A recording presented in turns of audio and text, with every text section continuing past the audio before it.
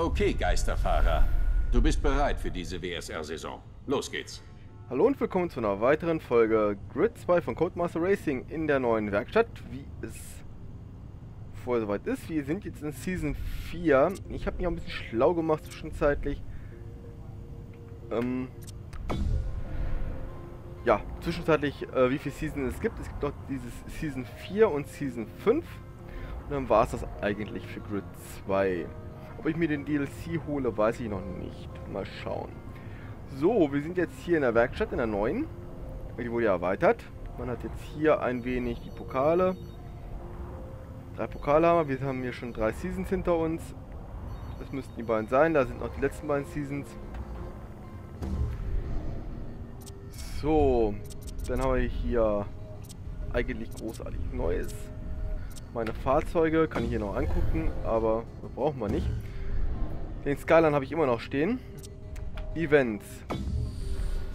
Wie schon gesagt, wir sind jetzt in der nächsten Season.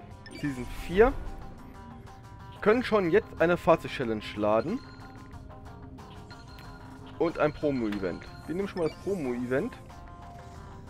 Oakley, überholen in Dubai. Und im GT3, wenn ich das gerade richtig sehen, Dubai, GT3, ja. Zwei Runden, wir schauen uns mal das an. Mercedes GT3.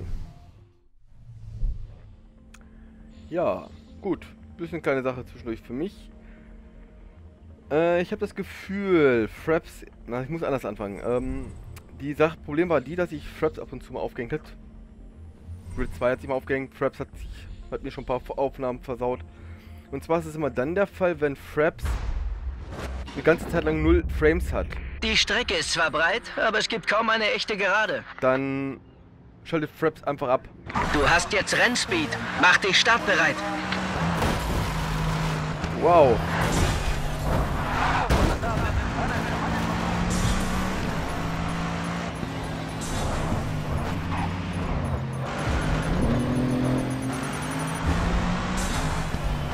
Dieser Kerl will dich um den Sieg bringen. Lass ihn hinter dir. Du fliegst regelrecht. Wenn du weiter so schnell überholst, reicht es für den Sieg.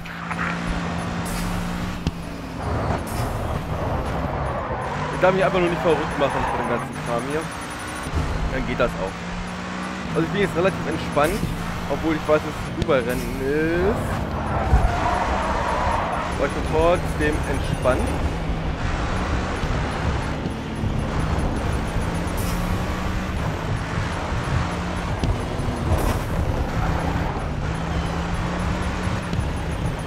Weil es gibt einfach Punkte jetzt hier, wo man überholen kann und an anderen Stellen geht es einfach gar nicht. An diesen Stellen darf ich dann auch nicht versuchen zu überholen.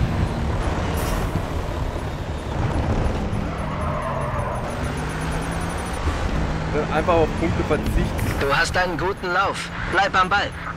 Weil es hat einfach keinen Sinn, wenn man jetzt hier irgendwelche Punkte verschenkt, hohe Punktzahl verschenkt.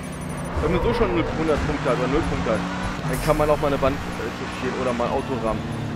Aber wenn man jetzt so um die 1000 fährt, wie ich jetzt gerade, mein Gott, dann soll man halt mal in zwei Kurven aufpassen.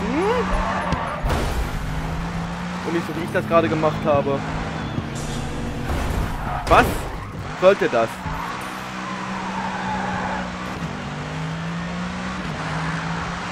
Wow, der Wagen ist eine Katastrophe. So, wie kriege ich den Wagen jetzt von der Wand weg? So.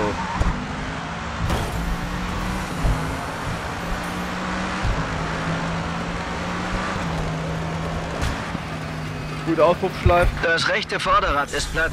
Versuch weitere Schäden zu Ja, der vermeiden. Wagen zieht jetzt komplett nach rechts, das war's jetzt.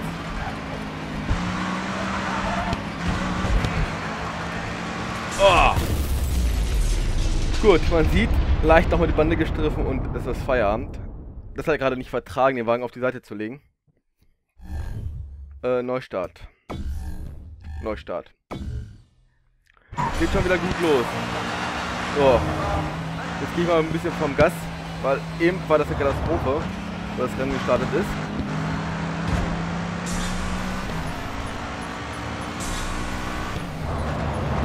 Ja! Man wird schön von den Fahrzeugen, die man holen soll, von der Stre äh, Strecke gedrängt. Super. Hier bist du noch nie gefahren. Lass es etwas ruhiger angehen, bis du den Kurs kennst. Na gut. Eigentlich wollte ich es ruhiger angehen lassen. Und schon wieder getroffen worden. Jetzt zeig mal, wer hier der Chef ist. Zieh an ihm vorbei.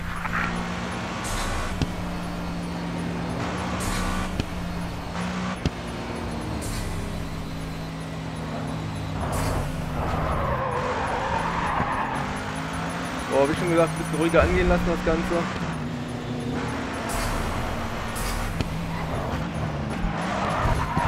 Problem ist, der Wagen ist extrem nervös auf der Hinterachse.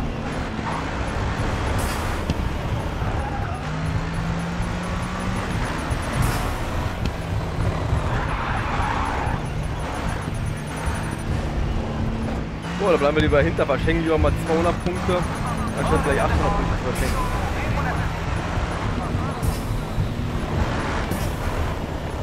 Oder mehr sogar, wenn man das überlegt. Beim nächsten Überholen baut sich das ja wieder auf.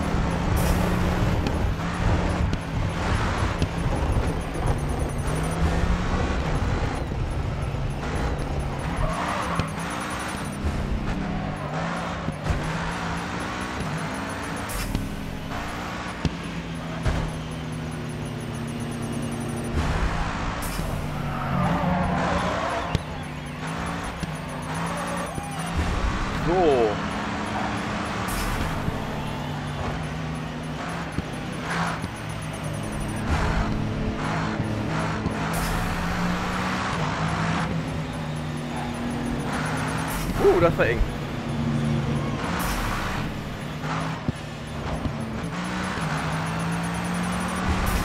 Und jetzt kommt die letzte Runde. So, jetzt wird interessant.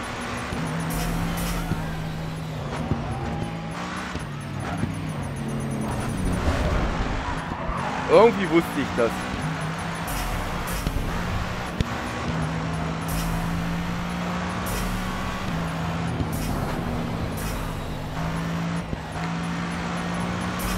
So, hier bremsen wir mal stärker ab. Hier bleiben wir hinter dem Blauen.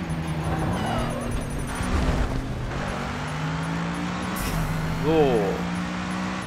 Vorne geht gleich wieder scharf links. Ne, den überhole ich nicht mehr.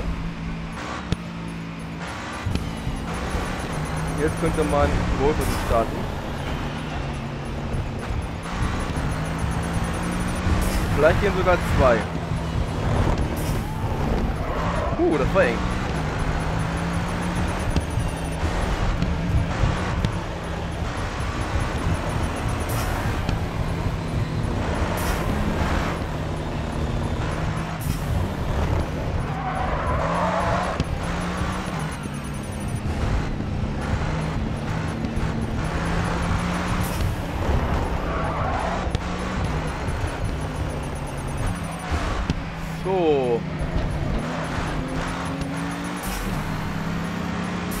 Und da vorne berühren sich schon wieder.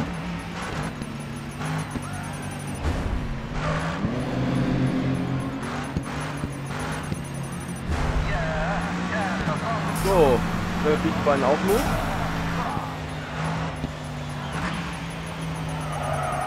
Oh, ein bisschen runter vom Gas, dass man hier nicht allzu schnell fährt.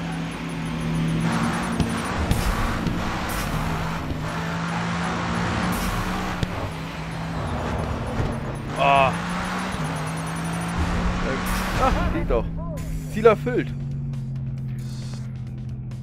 40.200 Punkte.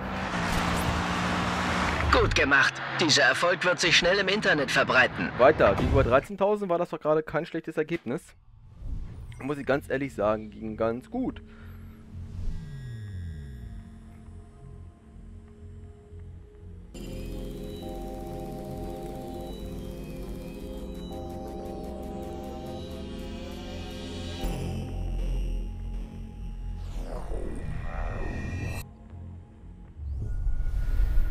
Konkurrenz ist hart.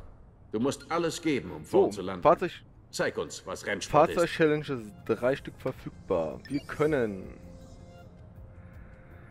Ah, eine Viper SRT, geht, also eine SRT äh, Viper GTS bekommen. Auf dem Red Bull Ring, Südstrecke. Gut, versuchen wir's.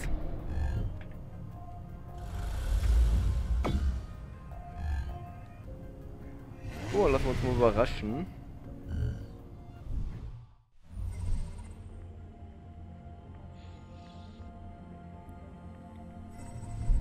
Ja, ich bin relativ ruhig gerade. Ich mein kurzes Thema hatte ich ja schon erwähnt mit dem Fraps. Plane deine Überholmanöver sorgfältig. Versuch vor den engen Kurven Plätze gut zu machen. So, 54 Sekunden. Dieses Auto neigt in Kurven zum Driften. Nutzt das zu deinem Vorteil. Ja, ist eine Viper. Die geht mächtig quer. Ach doch, hier geht's rechts rum. Uh.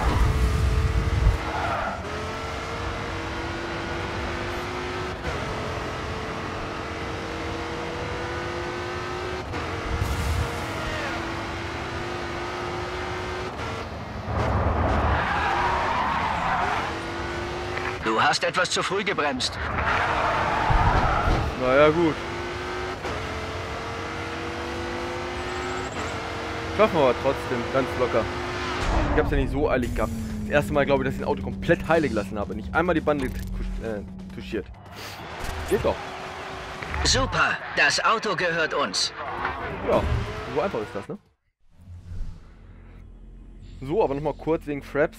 Fraps bricht bei mir zusammen, wenn es auf 0 Frames zusammenbricht, über eine längere Zeitraum zu, äh, auf 0 Frames und dann bricht Fraps, Fraps einfach mal komplett ab. Ich weiß nicht wieso. Aber es passiert nicht jedes Mal, es passiert ab und zu mal. Ich habe jetzt bei Minecraft mal gesehen, dass es passiert. Minecraft bricht ein auf 0 Fraps. Ich kann es eigentlich noch spielen, mehr oder weniger. Versuch dein Glück mit einer Fahrzeug-Challenge. Du hast nichts zu verlieren und könntest dir ein neues Auto für die Rennen holen. Aber wenn eine Zeit lang länger bei 0 äh, Frames sind, dann macht das Spiel einfach, äh, macht Fraps einfach dicht. Und ich schätze mal, dass es auch so beim letzten Mal passiert ist. SL65 AMG Mercedes können wir gewinnen. Im Okutama-Gebirge. Ne, Okutama-Mitsu-Gebirge. Na gut, fahren wir da mal hin. Holen uns den nächsten GT, äh, holen uns den Mercedes GT. Von AMG. Jo, können wir machen. So. Das Problem halt mit Fraps ist wirklich, äh, Fraps ist wirklich das mit den 0 Frames. Und ich schätze mal, dass es auch jedes Mal dann passiert, dass er dann die Aufnahme abgebrochen hat. Achte in den Bergabpassagen auf die extremen Gefälle. Hier können selbst die besten Fahrer überrascht werden. So, 3 Minuten 42, das ist etwas länger.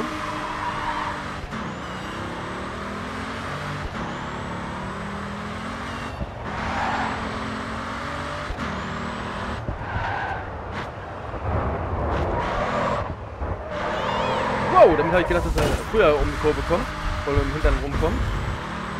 Nicht damit gerechnet, dass er so spät um die Kurve kommt.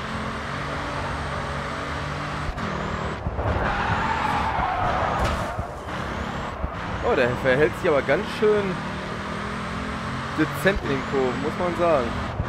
Aber man muss ihn wirklich schon zwingen.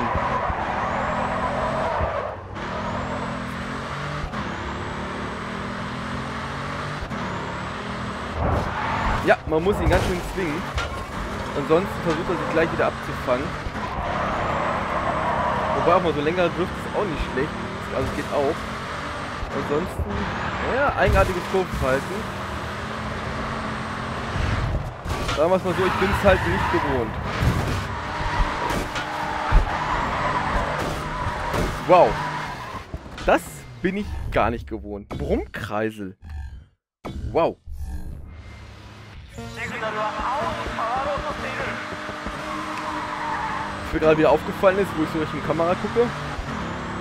Ich gucke ganz selten in die Kamera. Ich gucke meistens unten auf das Bild. Was ja, die Kamera hängt ja auf einem Monitor. Und ja, ich gucke eigentlich genau auf das Bild unterhalb des Monitors, um auch nebenbei auf die Aufnahme zu gucken. Also ich nutze eigentlich immer diese Zeiten, wenn ich dann mich konzentrieren muss, um mal auf den zweiten Monitor zu gucken, läuft die Aufnahme Audacity noch. Wie ist eine Aussteuerung im Ton. Und ja, Aufnahme, welche ich meine, ist die Fraps. Fraps ist, wenn ich da hingucke.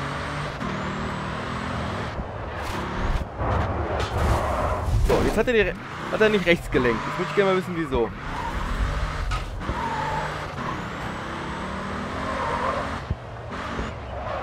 Er hat schon irgendwie richtig Probleme zu haben. Bleib auf der Rennlinie. Du kannst dir diese Einschläge nicht leisten.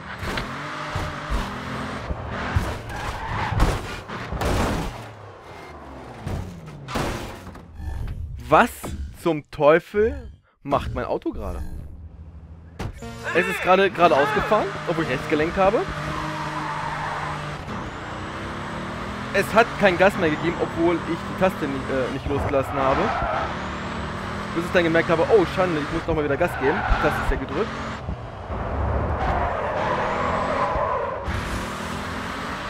Äh, also eben gerade war es verdammt eigenartig vor dem Tunnel da.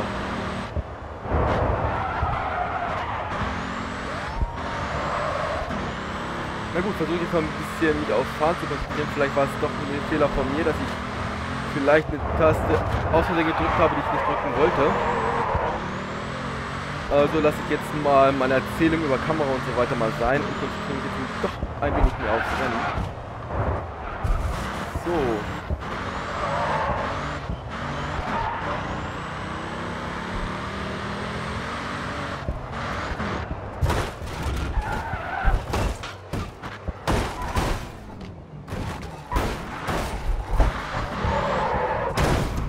So.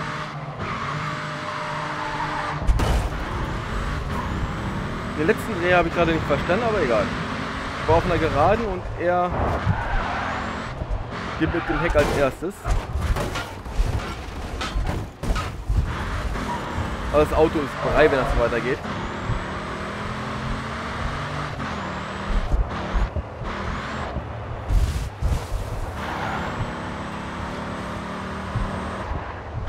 Das Fahrverhalten dieses Auto habe ich noch nicht ganz kapiert. Mal lenkt es mit dem Heck. Mal kriege ich es nicht in die Kurve. Egal ob mit Bremse, Handbremse, mit dem Gas.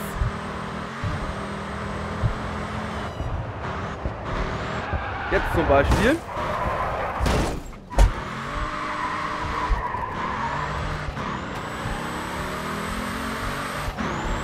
Wahrscheinlich ist der Turbolader weggekriegt zu haben. Auto fängt im Punkt an zu pfeifen.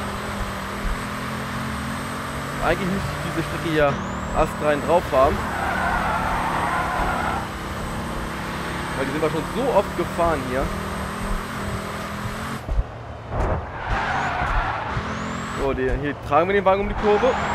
Mehr oder weniger. Das wird man ja sagen dürfen. Und wir haben noch eine Ewigkeit vor uns, sehe ich gerade.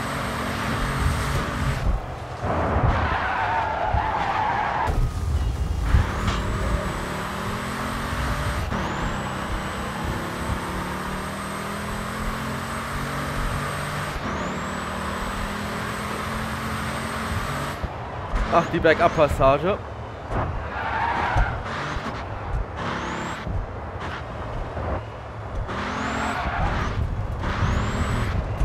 Auch ohne mal den Wagen auf die Seite zu legen.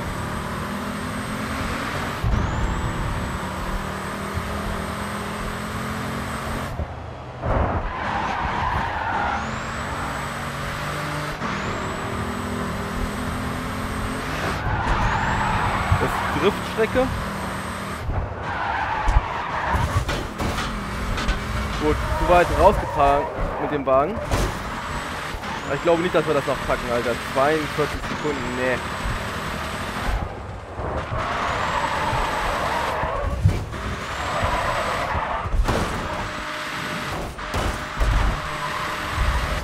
Uh, mal gucken, ich will auf jeden Fall zu Ende ankommen, falls ich den Wagen nicht vorher zerlege. Also, also ich ins Ziel kommen.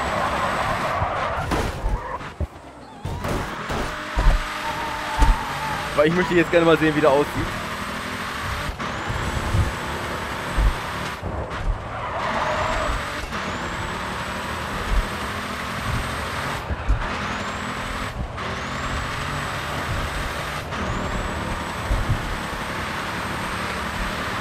Wow!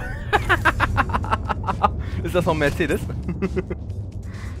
ah, geil. So sieht er übrigens aus, wenn er neu ist. So, wir machen Neustart. Neustart. Go.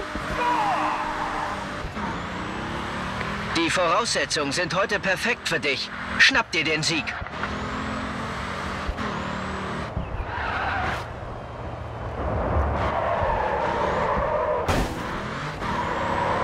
Das nenne ich mal ein richtig kaputtes Auto. Nein, nein, das richtig kaputte Auto siehst du erst im Ziel.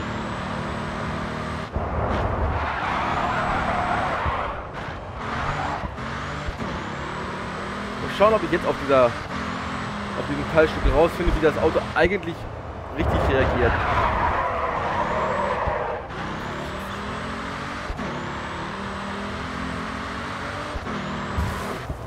Das eine Mal habe ich ihn hier nicht rechtskurven technisch gekriegt.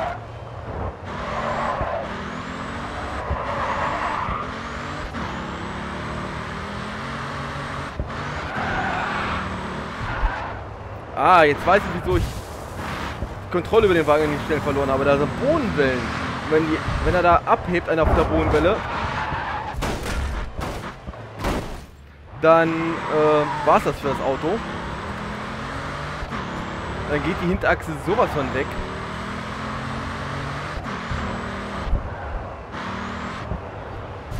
Das war wahrscheinlich auch der einmal der Grund, wieso ich keinen Vortrieb hatte. Wahrscheinlich, weil ich mit hinter in der Luft war.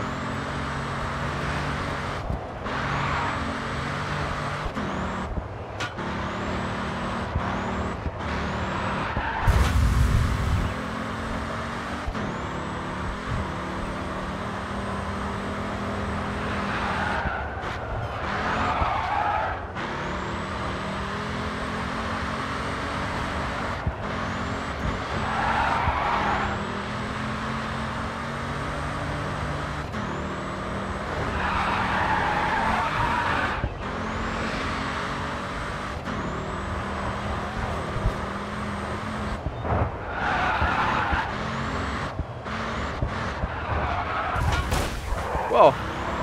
Jetzt bin ich ja gut durch die Kurve gekommen. ah, geil. Jetzt bin ich wahrscheinlich immer noch zu langsam.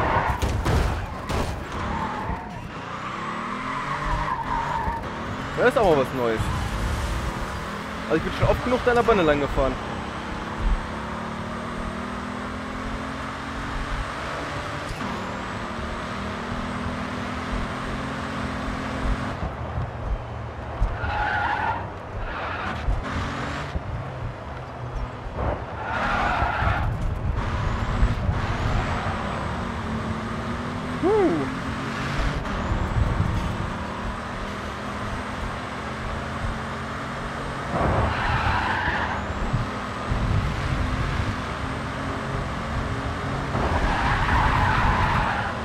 Also es gibt da so ein paar Kurven, die habe ich noch nie schnell nehmen können.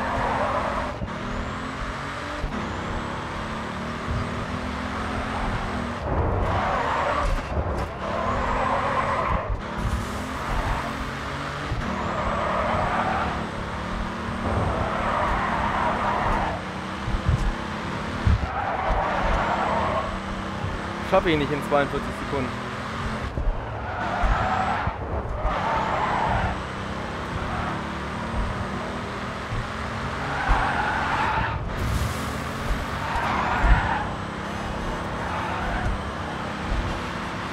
So. Der Wagen ist ein bisschen heiler als vorher. Aber Ziel verfehlt. Ich bin effektiv zu langsam auf der Strecke. Macht nichts, Junge. Es gibt noch andere. Gut, weiter. Erst einmal, weil ich möchte jetzt hier erstmal eine Aufnahmepäuschen machen. Aufnahmepäuschen ist schon wieder. Folgepäuschen. Und wir sehen uns dann in der nächsten Folge gleich wieder. Und fahren wahrscheinlich... Wirf einen Blick auf deinen Rennkalender. Wir brauchen ein paar gute Ja, Ergebnisse. das machen wir in der nächsten Folge. Bis dahin wünsche ich euch viel Spaß und ich sage Tschüss.